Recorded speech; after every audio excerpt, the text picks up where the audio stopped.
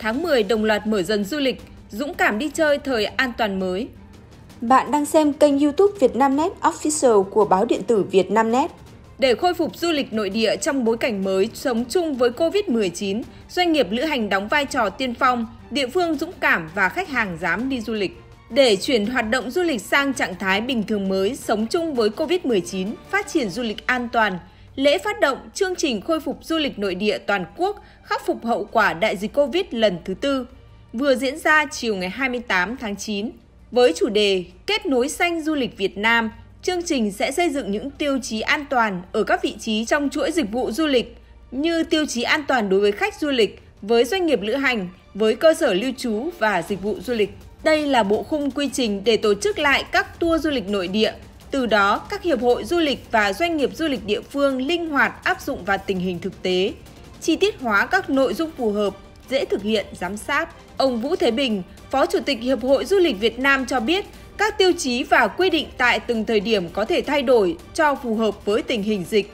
Khi có diễn biến mới, Hiệp hội Du lịch Việt Nam sẽ công bố việc sửa đổi, bổ sung tiêu chí, địa phương cập nhật và điều chỉnh cho phù hợp. Đặc biệt, việc khôi phục du lịch nội địa lần này nhấn mạnh vai trò quan trọng của các doanh nghiệp lữ hành. Theo ông Vũ Thế Bình, giai đoạn đầu, hoạt động du lịch hoàn toàn do các doanh nghiệp lữ hành đứng ra tổ chức, đảm bảo các điều kiện, tour chọn gói, an toàn, điểm đến an toàn và sử dụng dịch vụ an toàn. Ông Phùng Quang Thắng, Giám đốc công ty lữ hành Hà Nội Tourist lý giải, do là tour khép kín, có sự giám sát, kiểm soát chặt chẽ của phía lữ hành, nên công ty phải có trách nhiệm kiểm tra đó có phải là vùng xanh không, khách có đảm bảo tiêm hai mũi vaccine không, đồng thời có báo cáo đánh giá ngay sau khi kết thúc tour. Các doanh nghiệp cũng phải xây dựng tuyến điểm du lịch và các phương án vận chuyển theo lộ trình đảm bảo an toàn, quy định rõ chi phí xét nghiệm SARS-CoV-2 và các điều trị nếu nhiễm bệnh.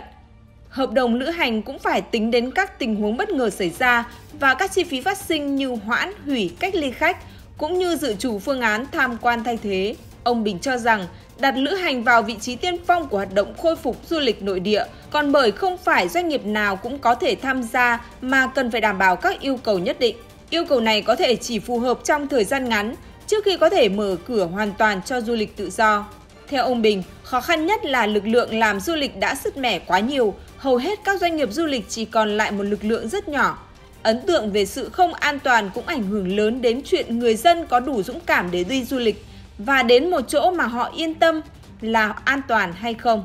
Nhưng nếu không có bắt đầu thì hoạt động du lịch không thể mở cửa lại được. Vì vậy, các doanh nghiệp du lịch sẽ phát động lại, làm lại, tạo điều kiện để mọi người quen đi với khái niệm an toàn mới, ông nói. Việc phát động chương trình du lịch nội địa trên phạm vi toàn quốc nhưng lại dành cho những địa phương dũng cảm, dám mạnh dạn mở cửa và triển khai các hoạt động du lịch trên địa bàn. Ở đây, đòi hỏi cần phải có sự thay đổi về tư duy vì trong bối cảnh mới không phải đợi cả tỉnh, cả thành phố phải xanh mà cần phải chọn vùng xanh tại các địa phương và chọn điểm xanh trong vùng xanh. Danh giới vùng xanh ở phạm vi càng nhỏ càng có tính thích ứng cao trong bối cảnh bình thường mới. Ngay tại lễ phát động, rất nhiều địa phương đã lên kịch bản, chuẩn bị sẵn các phương án mở cửa đón khách đảm bảo tiêu chí an toàn đến với vùng xanh như Quảng Ninh, Hà Giang, Khánh Hòa, Quảng Nam, Đà Nẵng, Thanh Hóa, Bà Rịa Vũng Tàu, Bình Định, Bình Thuận. Ông Cao Trí Dũng, Chủ tịch Hiệp hội Du lịch Đà Nẵng cho hay, thành phố đã chuẩn bị đầy đủ điều kiện để đón khách, như tại 34 khách sạn đón khách cách ly thì 100% nhân viên đã tiêm đủ hai mũi vaccine, 11.000 nhân viên ngành du lịch được tiêm mũi 1. Về cơ bản, đến nay Đà Nẵng đã có bộ tiêu chí du lịch an toàn. Do đó, thành phố lên lộ trình đón khách vào giữa tháng 11, trước mắt là khách nội tỉnh, sau đó là khách từ các địa phương lân cận, khách thăm thân. Theo Phó Giám đốc Sở Du lịch Khánh Hòa, bà Nguyễn Thị Lệ Thanh, Sở yêu cầu đơn vị nào 100% lao động tiêm đủ 2 mũi vaccine sẽ được hoạt động. Tháng 10, khi tất cả người dân trong tỉnh được tiêm mũi 1, Khánh Hòa sẽ đón khách du lịch nội địa. Ông Trần Trung Hiếu, Phó Giám đốc Sở Du lịch Hà Nội, thông tin dự kiến trong tháng 10 du lịch Hà Nội sẽ triển khai hoạt động theo giai đoạn 3, cho phép các cơ sở lưu trú, điểm đến du lịch, công ty lữ hành vận chuyển đủ điều kiện hoạt động trở lại, chủ yếu phục vụ khách du lịch thủ đô.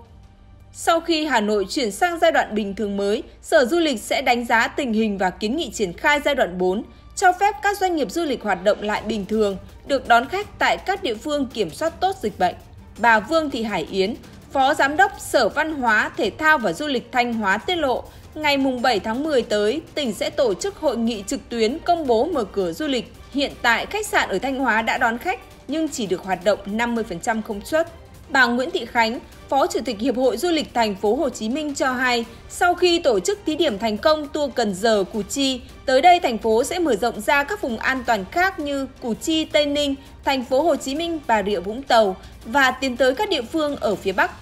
Du lịch thành phố là xác định địa phương kiểm soát dịch, có vùng xanh tới đâu sẽ liên kết tổ chức tour đến đó. Ông Phạm Văn Thủy, Phó Tổng cục trưởng Tổng cục Du lịch đánh giá, sau 4 đợt dịch, các doanh nghiệp chịu ảnh hưởng nặng nề, thiệt hại lớn khi doanh thu chạm đáy và kiệt quệ. Do đó, việc khôi phục khách nội địa là bước đệm, giúp các doanh nghiệp dần phục hồi. Tuy nhiên, việc tái khởi động cần quản trị tốt điểm đến sao cho an toàn, từ đó liên kết với các doanh nghiệp nối lại du lịch các vùng, các miền, ông nói.